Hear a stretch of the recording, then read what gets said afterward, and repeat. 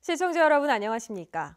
정부가 이번 지진으로 큰 피해를 입은 포항 흥해읍을 도시재생 뉴딜 사업에 포함해 지원하는 방안을 어제 발표했지만 현장에서는 현실과 동떨어진 부분이 많다는 반응입니다. 주민들이 생각하는 문제점은 무엇인지 이규설 기자가 취재했습니다.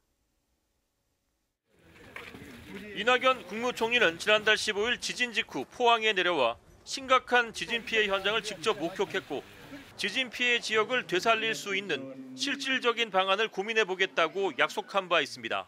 국내 전체가 이렇게 피해를 보게 되는 곳인데 그런 곳이 이렇게 거듭났구나. 이런 과정을 거쳐 포항 흥해읍은 도시재생 뉴딜 사업 대상에 포함됐습니다. 정부는 도시재생특별법을 내년 초까지 개정해 인구나 사업체 수 감소와 노후 건축물 증가 등 쇠퇴 도시에 국한되어 있는 도시재생사업 선정 요건에 재난지역을 추가하기로 결정한 겁니다.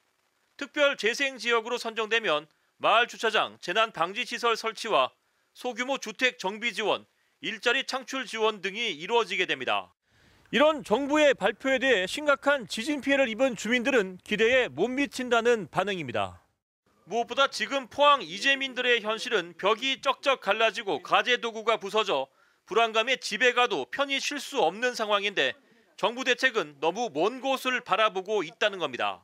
어떤 정책을 해서 어떤 식으로 결과를 낼 때 실질적으로 주민들한테 도움이 될 수 있는지를 살펴보시는 게 아니고 규정과 틀에 맞춰서 재단하고 자르시고 현실적인 부분에 대한 전혀 없습니다. 없고 그냥 단지 그냥 소리만 가지고 그런 식으로 비현실적인 그런 어떤 방법들로 이렇게 뭐 정부나 모든 곳에서 이런 식으로 하는 거는 저희 주민들 입장에서는 전혀 그거는 고맙게 생각도 안 들고 이해가 안 가는 부분들이 많습니다.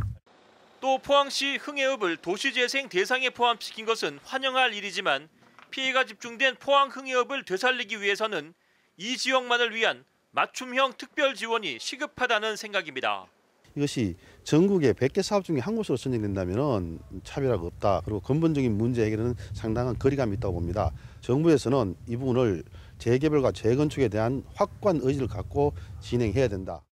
우선 지진 피해 주민들이 안심하고 생활할 수 있고 또 정부의 도움을 받고 있다고 체감할 수 있는 정책 마련이 필요해 보입니다. MBC 뉴스 이규설입니다. 경북 상공회의소 협의회는 오늘 포항상위 회의실에서 지진으로 어려움을 겪고 있는 포항경제 살리기 간담회를 열었습니다. 오늘 간담회에는 김관용 경북지사와 이강덕 포항시장, 경북도내 10개 상공회의소 회장 등이 참석해 지진 여파로 관광객과 접객업소 매출 감소 등 2차 피해를 입고 있는 포항 지역 경제를 살리기 위한 협력 방안을 논의했습니다. 참석자들은 오후에는 죽도시장을 찾아 지역 특산물을 구입하고 상인들을 격려했습니다. 바른정당 유승민 대표는 오늘 포항시청을 방문해 지진 피해 이재민에게 사용해달라며 성금 2,200만 원을 전달했습니다. 성금은 바른정당 소속 국회의원 11명의 내년도 세비 인상분 2.6%를 전액 반납한 것으로 마련됐습니다. 오늘로 세 번째 포항을 찾은 유 대표는 현실과 안 맞는 법과 피해 보상 규정 등 현장의 어려움을 듣고 정부에 전달하고 국회 차원에서도 법을 개정할 부분이 있으면 반영하겠다고 밝혔습니다.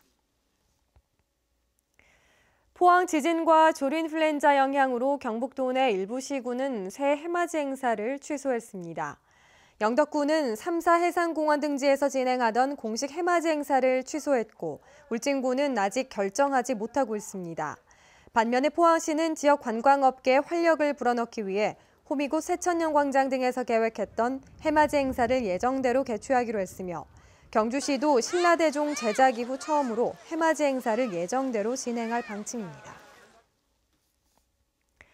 지진 피해가 큰 포항에 내년도 지진 관련 재난 대비와 안전 분야 국비 예산 1,387억 원이 투입됩니다. 포항시는 250억 원을 들여 만여 제곱미터 크기의 다목적 재난 대피 시설 5곳을 건립해 평소에는 체육 복지 시설로, 비상시에는 대피 시설로 사용하기로 하고 내년 예산에 기본 실시 설계비 15억 원을 확보했다고 밝혔습니다. 또 27억여 원으로 포항 일대 단층을 정밀 분석해 한반도 지진 단층 통합 모델을 개발하고 북구청사와 양덕정수장 재건축에 각각 108억 원과 224억 원, 공공시설물 복구에 799억 원을 투입합니다. 이 밖에도 213억 원을 들여 포항항과 경찰서, 교정시설 등 관공서 내진 보강 사업도 하고 전국에서 가장 큰 지진 체험 교육장을 건립하는 방안도 추진할 계획입니다. 경상북도 관광공사는 지진으로 위축된 포항의 관광 산업을 살리기 위해 관광 마케팅에 적극 나서기로 했습니다. 경북관광공사는 내일부터 오는 25일까지 17회에 걸쳐 동대구역에서 포항으로 무료 투어버스를 운행하기로 했습니다. 이 버스는 오전 9시 대구에서 출발해 죽도시장과 호미곶, 구룡포를 거쳐 오후 6시 출발지로 돌아가게 됩니다. 경북관광공사는 또 오는 15일 서울에서 경북 전담 여행사 20곳 등과 포항관광 활성화 전략회의를 갖고 포항을 경유하는 관광상품 개발에 적극 나서기로 했습니다. 포항시는 지진으로 침체된 지역 경기 활성화와 연말연시 분위기 조성을 위해 오늘 11일부터 내년 2월 중순까지 주요 도로변 가로수 트리 전구 설치를 일시적으로 허용하기로 했습니다.